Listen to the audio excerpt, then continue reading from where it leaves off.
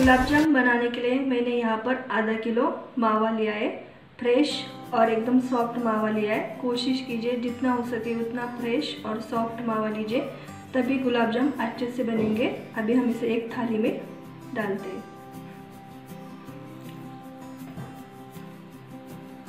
इस मावा में काफ़ी सारी गुठलियाँ है। अभी हम इसे अच्छे से मसल लेते हैं, एकदम सॉफ्ट चिकना होने तक। ये देखिए इस तरह से हमें मसल लेना है।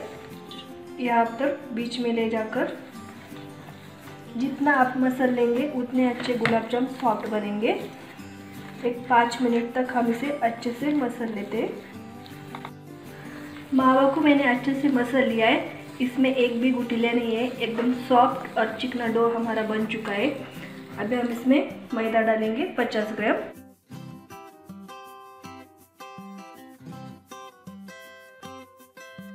इसके बाद रवा 50 ग्राम।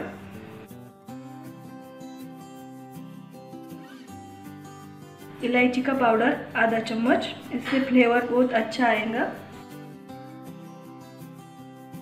बेकिंग पाउडर आधा चम्मच।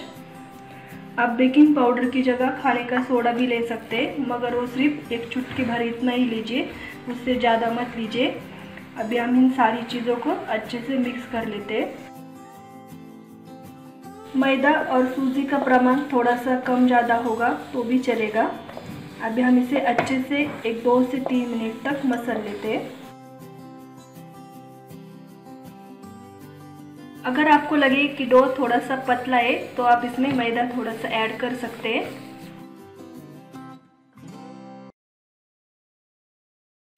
ये देखिए, इस तरह से मैंने एकदम सॉफ्ट डो बना लिया है।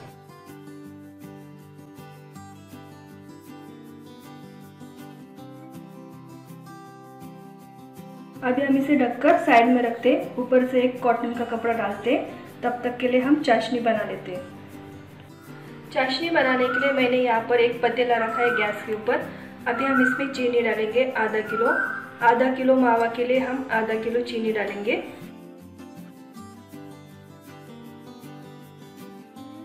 इतना कटोरी भरकर मैंने चीनी लिया था, उतना ही पानी हम डालेंगे एक कटोरी।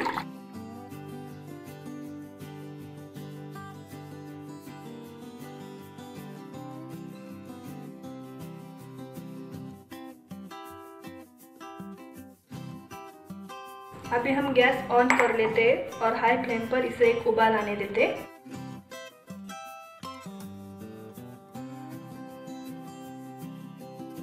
इसे हम बीच बीच में चलाएँगे ताकि चीनी जल्दी से पानी के अंदर घुल जाएँगी।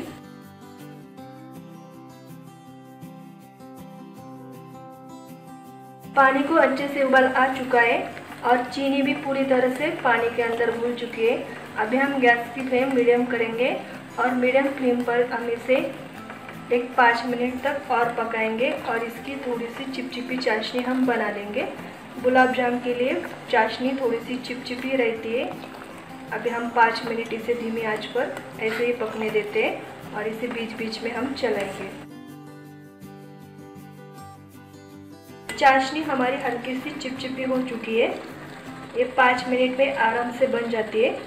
अब ये पूरी तरह से रेडी हो चुके हैं। हम गैस बंद कर लेते और इसे साइड में रखते हैं। अभी हम गुलाब जाम बना लेते आटा भी हमारा अच्छे से सेट हो चुका है।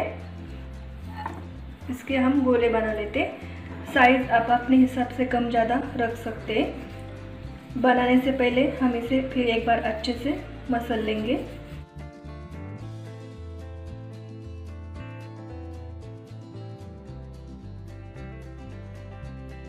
ये देखिए, इस तरह से हम इसे गोलाकार शेप देंगे और सारे गुलाब जाम इसी तरह से हम बना लेते हैं।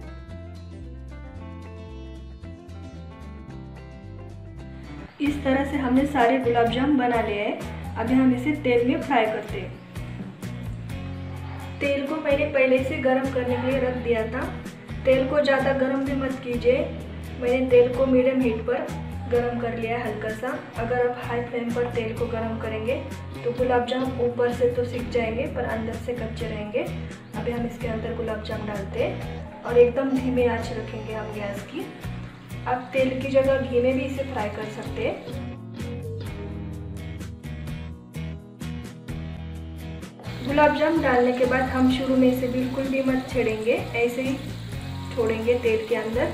और एक मिनट के बाद हम इसे तेल को इस तरह से घुमाकर इसे सेक लेते हैं। गुलाब जाम हमारे अच्छे से फ्राई हो चुके और अच्छे से महक भी आ रही है इसके अंदर से। अब कलर देख सकते हैं, अच्छे से गोल्डन ब्राउन आ चुका है। गुलाब जाम हमारे अच्छे से फ्राई हो चुके कलर भी इसका अच्छे से गोल्डन ब्राउन आ गया है। अभी हम इसे निकाल लेते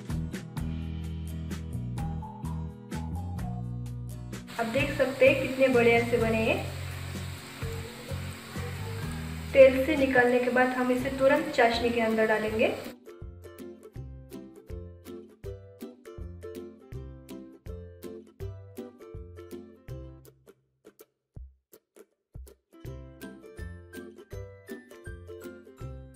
और इसी प्रकार से हम बाकी के गुलाब जामुन को भी फ्राई कर लेते हैं।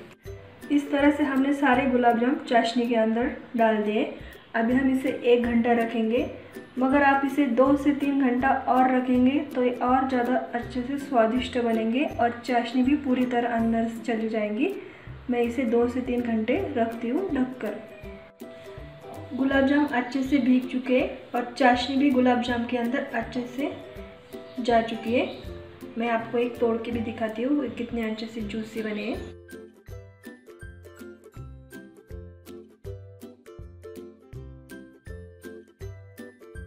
अच्छे से सॉफ्ट बने, एकदम जूसी और बनाना भी बहुत ही आसान है।